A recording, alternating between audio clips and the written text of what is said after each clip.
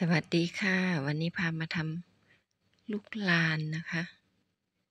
ไม่ใช่มะกอกน้ำนะคะ นี่คุณผู้ชม นี่คือลูกลานค่ะ ลักษณะเหมือนมะกอก เหมือนมะกอกฝรั่งมาก ๆ วิธีแรกที่เราจะทดลองทำก็คือทุบค่ะ มีเพื่อนๆบอกว่าให้ทุบแล้ว ที่อยู่ด้านในอะที่เราต้องกินอะเนี่ยอยู่ด้านในนะจะออก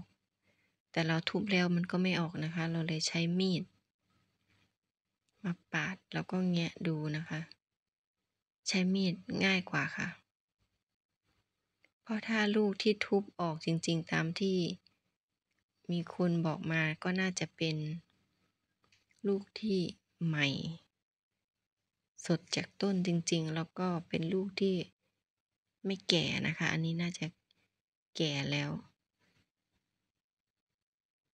ก็เลยจะทำยากนิดนึงค่ะ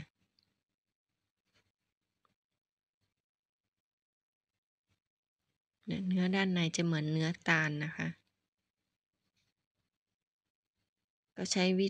เวลาทำนานมากค่ะ กว่าจะเสร็จขั้นตอนหนึ่ง แล้ว ต้องใส่ผ้าปิดจมูก เพราะว่าใส่แว่นตา เพราะว่าน้ำที่เวลาเราทุบหรือ เราทำกับอันเนี้ยไอ้ลูกลานเนี่ยค่ะ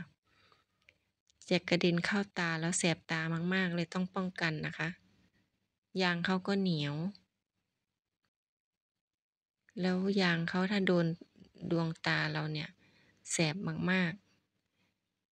อันนี้คือมีคนเคยโดนแล้วแนะนำมานะคะว่าห้าม ห้ามให้โดนดวงตา แสบทรมานเขาบอก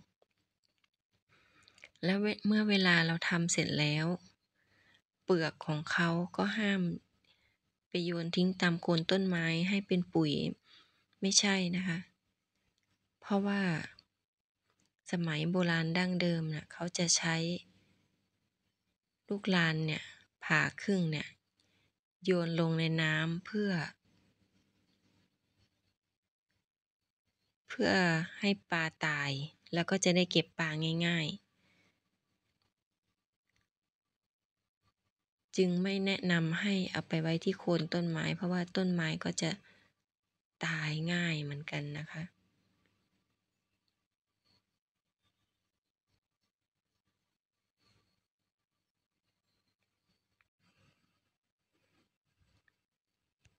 ลูกลานที่เอามาเนี่ยก็จะหลายวันแล้วแล้วก็แก่ด้วยนะคะ เวลาแกะออกก็จะเป็น มีเปลือกขาวๆหุ้มอยู่นะคะ เปลือกออกเหมือนกับลูกตาลนะคะ เหมือนกับหลอนตาล ที่จะมีเปลือกขาวๆเยื่อขาวๆหุ้มอยู่ข้างใน แต่ถ้าเป็นลูกลูกอ่อนๆนะเราทุบออกเนี่ยเขาก็จะล่อนออกเลยนะคะ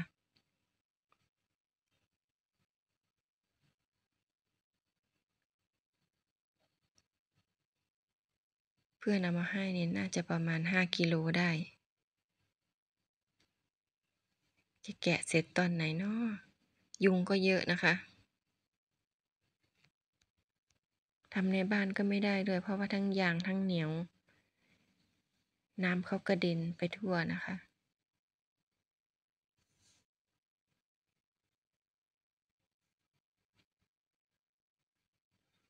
หลังจากที่เราทำเสร็จแล้วเราก็จะ นำไปล้างนะคะ ซาวน้ำเกลือ เอายางเหนียวๆเขาออก ไม่งั้นจะคันคอนะคะ หลังจากนั้นเราก็จะต้มน้ำร้อนใส่ใบเตย ใส่น้ำตาล ใส่เกลือนิดนึงนะคะ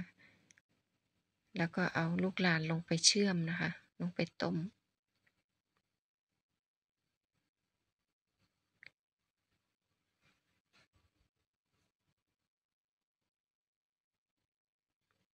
นี่คือขั้นตอนที่สองนะคะ หลังจากเราผ่าแล้วเราก็จะมาขูดเอาเปลือกเหลืองๆเขาออก อันนี้คือลูกแก่นะคะ ก็จะเป็นประมาณนี้ ก็จะทำยากอีกทีหนึ่ง แต่ถ้าลูกอ่อนๆก็จะล่อนเลยนะคะ ทุบออกมาก็จะล่อนเลย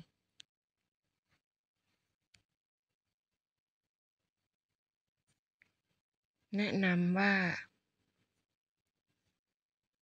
ถ้าเห็นแม่ค้าเข้ามาขาย ถุงละ20-30ก็ซื้อกินเถอะนะคะ ง่ายค่ะแบบนั้น สงสารเขา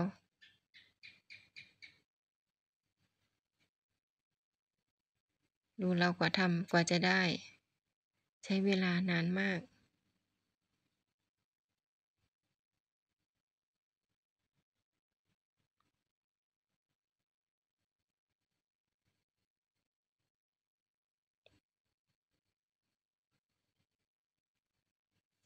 แล้วก็จะลื่นๆนะคะ เวลาโดนน้ำแล้วก็จะจับยาก ขอบคุณที่รับชมนะคะ และคลิปหน้าเจอกันใหม่ค่ะ